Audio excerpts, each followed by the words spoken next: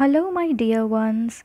In today's lesson, we are going to learn three letter words with a short U sound.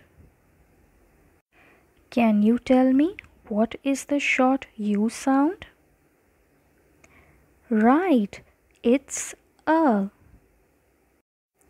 To read these words, we will blend the first sound to the two letter word. Let's give it a try. B un bun okay let's do another one. F un fun. That's right. Now let's see some three letter words with a sound. S un sun. R un run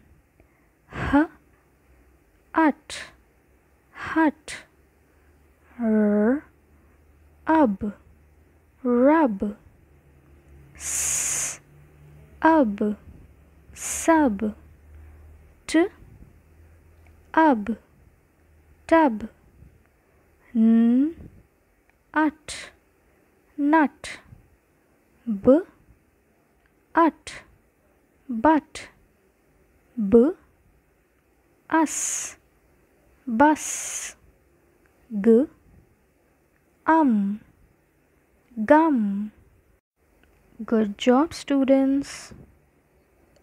And you know what?